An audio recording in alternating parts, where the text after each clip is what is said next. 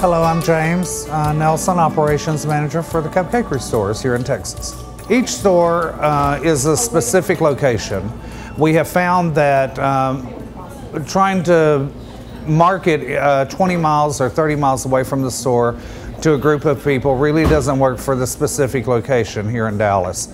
Uh, probably because of traffic and the inability to get uh, to the locations in a timely manner.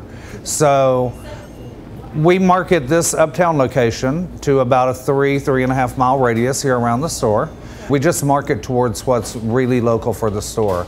In the Frisco location, we market things that are more Frisco based. Uh, in Frisco, uh, it's younger families and they all have children. So we market, uh, that store up there, for instance, doesn't have an eat-in facility. It doesn't uh, sell champagne and wine. Uh, that store is more of a come in and pick up your cupcakes. It's more family oriented where they're taking them home for birthday parties, uh, school events, and things like that. So that store is a much smaller location and geared towards servicing that area.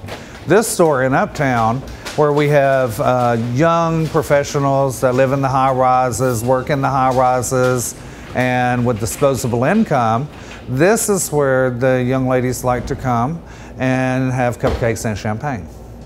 So we offer a variety of uh, wines and champagnes to go with some of the cupcakes. We also market it more towards uh, the businesses in the area, like I said, but things that deal more with those people.